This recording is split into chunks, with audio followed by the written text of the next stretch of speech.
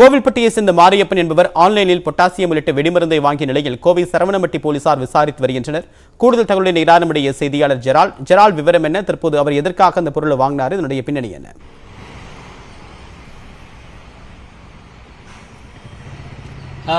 வணக்கம் தேவப்பிரியன். கோவையில் வந்து ஆன்லைனில் ஃப்ளிப்கார்ட்டில் வந்து வெடிபொருட்கள் வாங்கியதாக என்ஐஏ அதிகாரிகள் வந்து விசாரணை மேற்கொண்டனர். கோவையில் ஆன்லைன் வெடிமருந்து பொருட்களுக்கு தேவையான வேதிப்பொருட்கள் வாங்கியதாக இந்த விசாரணை தொடங்கப்பட்டது. வெடி சம்பவங்கள் தொடர்ந்து நடைபெற்று வரும் நிலையில் தேசிய புலனாய்வு முகமை அதிகாரிகள் கோவை மட்டுமல்லாமல் பல்வேறு பகுதிகளில் விசாரணை மேற்கொண்டு வருகின்றனர். அதே போல வந்து ஆன்லைனில் யார் யார் வெடிப்பொருட்கள் வாங்குகிறார்கள் என்ற கோணத்திலும் தொடர்ந்து விசாரணை செய்யப்பட்டு வருகிறது.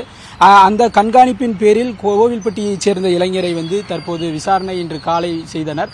அதே போல வந்து கோவில்பட்டியைச் சேர்ந்து அந்த விசாரணை செய்த பொழுது அவர் வந்து முன்விரோதம் காரணமாக இந்த வெடிமருந்து பொருட்களை வாங்கியதாகவும் மேலும் மகாராஜன் என்பவர் மீது கொலை முயற்சி செய்வதற்காக இந்த வெடிப்பொருட்கள் வாங்கியதும் விசாரணையில் தெரியவந்தது.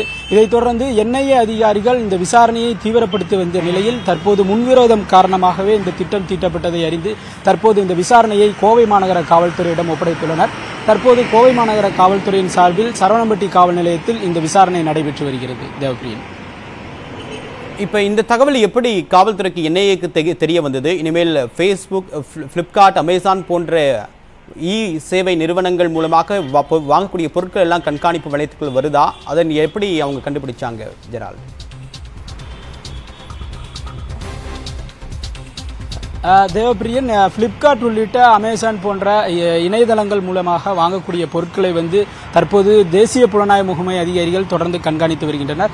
குறிப்பாக வெடிப்பொருட்கள் உள்ளிட்ட பொருட்களை வாங்குபவர்களை தொடர்ச்சியாக கண்காணிப்பதற்காக தேசிய புலனாய்வு முகமை அதிகாரிகளின் சார்பில் சிறப்பு அதிகாரிகள் நியமிக்கப்பட்டு இந்த விசாரணைகள் தொடர்ச்சியாக மேற்கொள்ளப்பட்டு வருகிறது. இந்த விசாரணையின் ஒரு பகுதியாக தற்போது இந்த கண்காணிப்பு வளையத்திற்குள் வெடிபொருட்கள் வாங்கியதாக இரண்டு பேர்கள் அடையாளம் காணப்பட்டு அதில் மாரியப்பன் என்பவர் வந்து இந்த வழக்கில் உறுதி செய்யப்பட்டு தற்போது முன்விரோதம் காரணமாக என்ற அடிப்படையில் தற்போது வழக்கு மாநகர காவல்துறைக்கு மாற்றப்பட்டுள்ளது. தேவப்பிரியன். உங்களுடைய விரிவான தகவலுக்கு நன்றி ஜெரால்